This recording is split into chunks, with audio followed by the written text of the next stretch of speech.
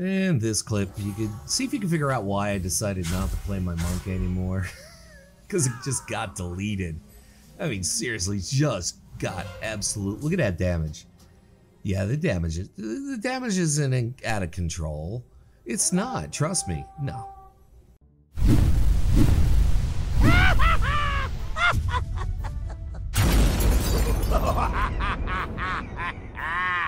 Yeah, it's another clip of Commander DoorDash in Alterac Valley. In case you're wondering where your DoorDash dude is, he's in Alterac Valley. Uh, it's amazing that your food is warm when it shows up because it's usually cold in Alterac Valley. But I poly DoorDash and Commander DoorDash is unpolyed by the Rogue. We also have a fire mage here. Those polys going out are not his because he's got combustion up and he's going to kill DoorDash in the next 10 minutes. And there's also a hunter, because there always is a hunter, and there's a rogue, and everybody's engaged in Commander DoorDash. Why is this a really dumb, I mean, like incredibly dumb idea? Because you don't want to engage the mini bosses in Alterac Valley, because when the Horde back cap, it's the Horde and the mini boss versus you and your team, and that is a bad formula. That is a recipe for failure. Let's say that again. That is a recipe for failure. As I constantly just, you think they get the hint, like right there, right then and there, like, why is this dude tossing out these polymorphs? Why is he doing that? That's so stupid. No, it's not stupid. It's called being smart because you don't want to engage this guy. The rogue has already disappeared, so now it's the fire mage, and of course, there's a hunter. I think it's the same hunter that was in the clip in the previous episode where they were engaging mini bosses in Alterac Valley. It's just, I don't get it. I don't. You don't want to engage this guy. Now the mage is realizing maybe I shouldn't fight him because he's got him rooted and I, I poly him. Maybe he gets the message, but no, of course not. He's not going to get the message. And now, even even there's a shaman involved somewhere. He's probably in the tower, and he keeps hexing the guy, saying, "Dude, stop engaging the mini boss. Just stop it." So now I'm just gonna watch this moron die, and and so's so's the so's the shaman. Shaman is just not even. So I poly him again. Now he's running away, and he's down for the count. Good for you, bro. You deserve that. You deserve that. I think Blizzard planned this. I think they often do plan, like, how can we screw up Luxeley's day? How can we do that? Oh, I have an idea. Somebody raises their hand. Yeah, we could screw up that guy who constantly criticizes our game and makes a lot of sense and supports his hypothesis and his reasoning with something called facts. Yeah, that guy. Let's screw up his day. Let's throw not one, not two, not three, not four, not five, but six. Let's throw six healers into Arathi Basin against his Demon Hunter. That's an idea because this Demon Hunter only doesn't even have 25k health, but Demon Hunter's kind of like overpowered, you know, on steroids and stuff, so it doesn't matter. Demon Hunter could take six, six healers, right? uh, maybe not. Now, I've seen zero zero draws in something like a Twin Peaks or Warsong Gulch happens noticeable amount, not all the time, but enough for it to be noticed. But a draw in something like a Arathi Basin makes pretty much no sense. Here we have like two bases definitely cap. Horde have two bases cap, but we're about to cap a third base, and we're only down by five points. So when that third base kicks in, we should have enough to win. I mean, this is my theory because it's something called sense, logic. Oh, now we're only down by three points, and we have all three bases on a on a timer. And watch what happens. 1500 to 1499, but it's a draw. Blizzard's math, once again, is wrong. It's wrong, wrong, wrong, wrong. Definitely wrong. In case you're wondering uh, what people say in a battleground when they know they're about to lose, as you can see, the score is 107 to 6. That's the resources we have left.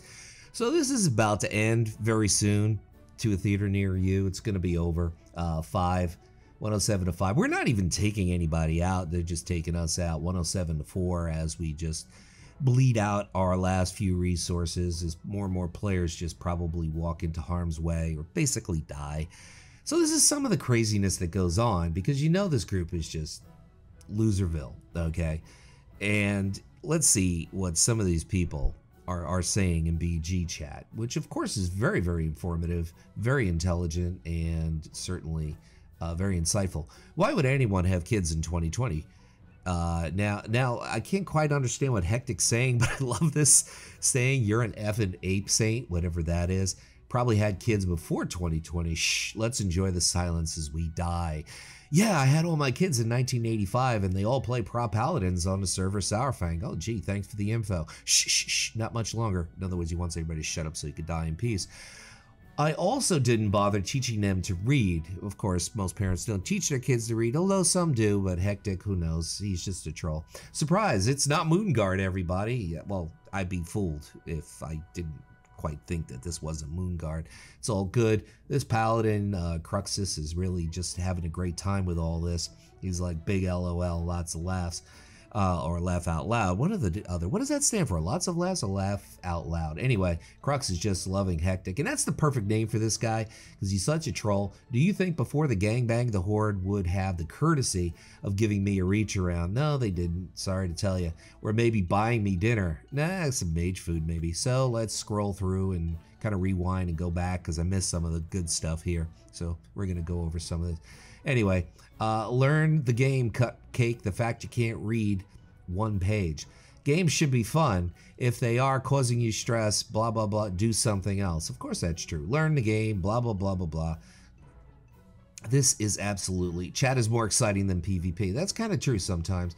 Uh, now, now they get into the rating thing. Oh, you're 1200, you're 1600. You know, of course, Arena has nothing to do with BGs. absolutely nothing. Completely different animal, but whatever uh, talking about getting camped. Just curious. You guys could kind of like pause this and read some of this golden stuff about raging and calling each other illiterate and, and ripping each other's kids and calling them an ape saint, which is a new one. That's a great one. You're an ape saint, whatever that means. Anybody know what an ape saint is? I'm in Eye of the Storm, and my pet has a mind of its own on my Warlock, even on my Hunter. What a surprise. This must be something to do with the pet AI, I'm not really sure. But I have no idea where my pet is, and I'm thinking of dialing 1 800 Pet Ace Ventura, 1 800 Ventura, uh, just to find my pet. Some people know that reference, some people don't know that reference, but it's a great pop reference. Ace Ventura, of course, from the movie uh, in the 90s. Yes, in the 90s, most of you probably weren't even born yet, but that's a, a classic Jim Carrey role. You got to be half drunk to enjoy the movie, but nonetheless, I'm still wondering where my pet is. I know he's alive. I just don't know where he is. Maybe he went to a pet convention, maybe found a woman and he's, you know, getting his game on or he's getting married or uh, just maybe he found a really good pizza place somewhere in in Eye of the Storm. I have no idea. I have no idea where he is. I'm trying to find him. He's off on his own. You know, I play all my records back, which I love that quote from the Felguards. But there he is. I finally find him. He's stunned all the way over there. Somebody actually wasted a stun on him. Like he does so much damage that they have to stun him to stop him. And he's still, he's still just you're gone. I had enough. We're just gonna get rid of you because you're just not listening.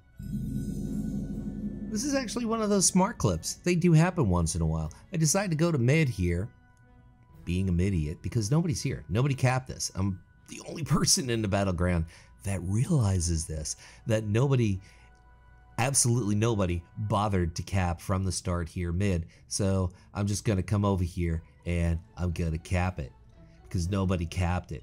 Is what you call awareness. And, and and it's it comes with experience, but you just have to have a sense of awareness with what you're doing in BGs. Could be the difference between winning, losing, capping, not capping, taking out a flag carrier, not taking out a flag carrier.